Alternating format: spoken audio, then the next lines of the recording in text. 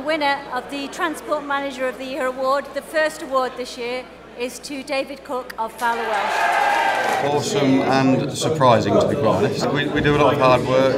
Um, it's not just me. I have a big team who works for me.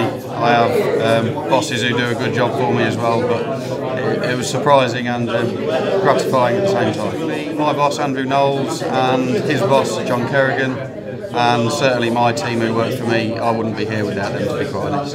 Well, we're very proud to sponsor the Transport Manager of the Year category.